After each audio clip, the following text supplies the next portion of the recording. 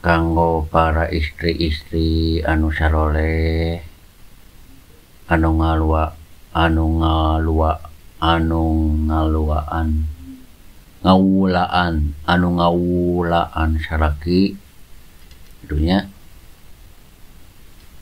sing sehat gitunya sing eh uh, nama masing sehat teh ngalua ngurusan barudak yang salakina gitunya.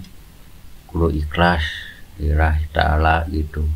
Niat karena Allah eh, ngurus eh, salaki jeung anak-anakna gitu. Eh orang loba ngeluh ngeluh mah lain salah gitu tanya. Gitu. Tak salah kita eh ada salah kita dah yang diperhatikan gitunya.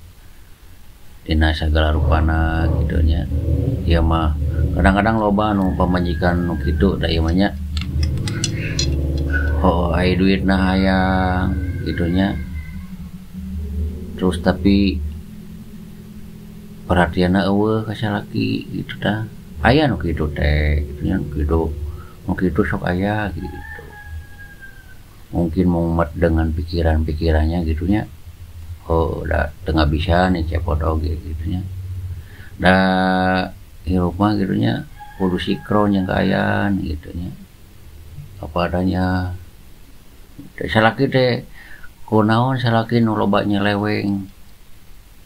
naon teu ngarti teu